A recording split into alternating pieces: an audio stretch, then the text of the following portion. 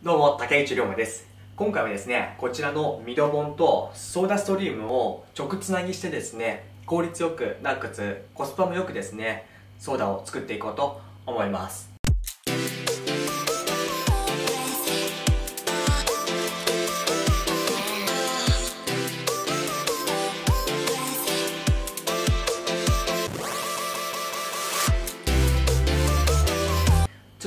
こちらのソーダストリームの、えボンベをですね、え使ってソーダを作っていくと思うんですけれどもちょっとですねこれめんどくさくなってきましてっていうのがあのソーダストリームの取り扱いがある店舗に行ってですねそこであのレジまで持って行って、えレジの人が倉庫から出してくれて、え住所を書いて名前を書いてお金を払うっていうですねうんなんとも1個のものを買うのにそんなに時間がかかるのは何なんだいっていうぐらいのですね、えー、手間がかかりますのでちょっとこれを脱皮したいなと思いまして今回こちらのミドボンを使うようにさせていただく方向に変えました。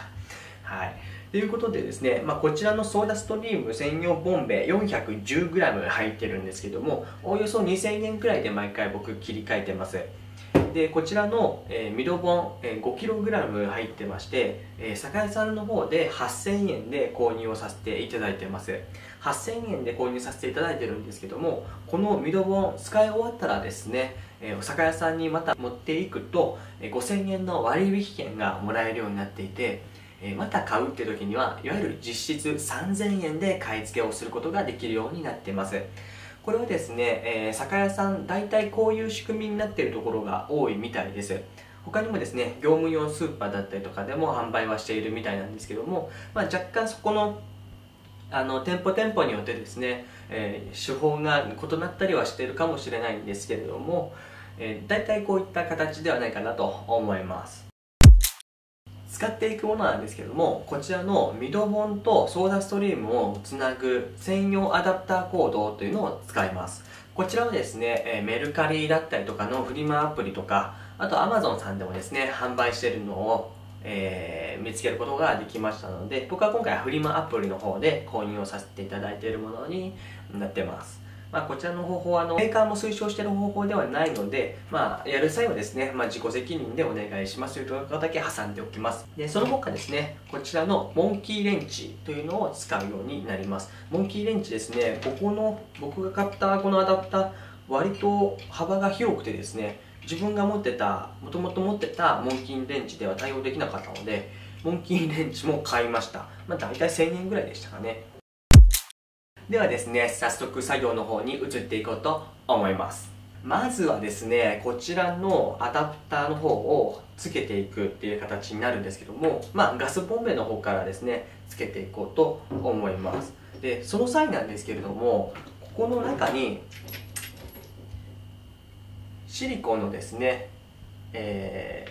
ー、クッションが入ってます。こちらはですね入ってることを必ず確認して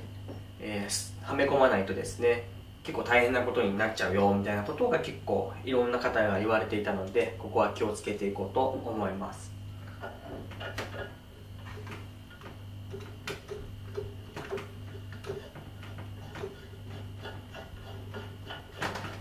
もちろんですね元栓の方は閉めておいてください、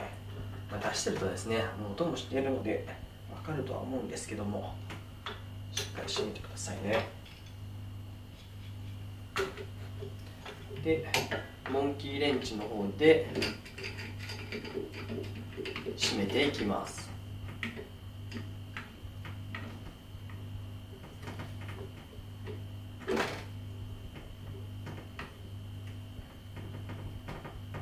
あんまり締めすぎるとですねさっきの、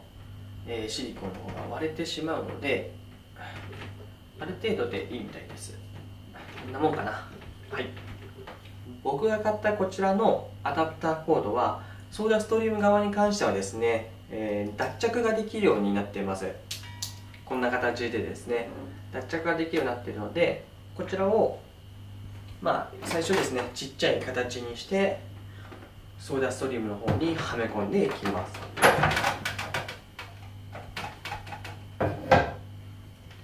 これがいわゆるここの部分と同じなんでしょうね。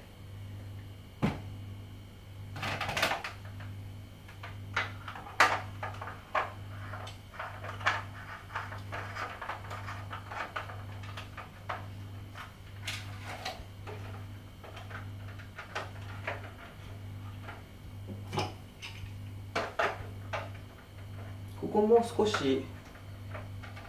モンキーレンチで回してあげた方がいいみたいです。そんなにがっつりもしなくてもいいとは思うんですけどもがっつりするとこっち側のですねまたクッション材の方も割れちゃうんでこんなもんかな。はい。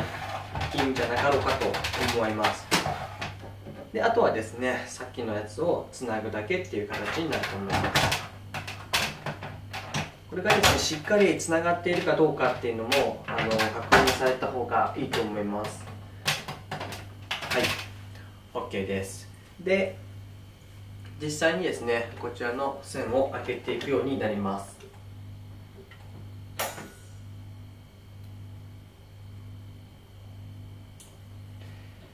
で僕はですね一応あの石鹸水を作りました。っていうのがこちらの石鹸水をあの使って、えー、ガスが漏れているかどうかを確認するみたいですので一応それはやっていこうかなと思います。まあこれあの心配性の方だけでいいんじゃないかなと思いますんで。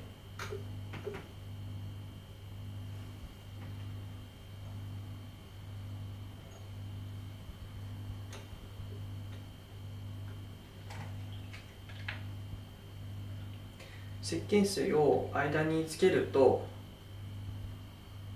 あの泡立つみたいなんですね、はい、特に泡立ってないので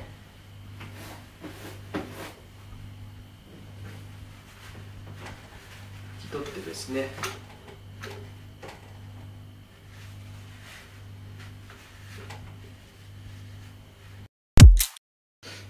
水を入れてきましたんでこちらにはめ込んでですね実際にソーダできるかどうかやっていこうと思います。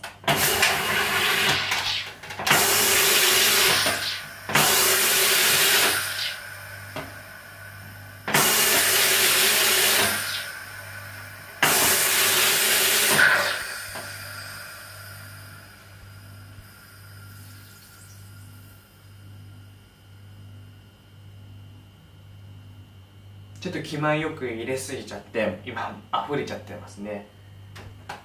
はいこんな感じでバッチリですね。ソーダの方完成できました。使い終わったらですねこちらの元栓の方を閉めておく方がいいみたいです。はい。いかがでしたでしょうか？こちらの動画参考になったよ、えー、いいなと思った人はですねいいねボタンを押してもらったりだとかチャンネル登録してもらえるとめちゃくちゃ嬉しいのでぜひよろしくお願いいたします。ではですねまた次の動画でお会いしましょう。じゃあ。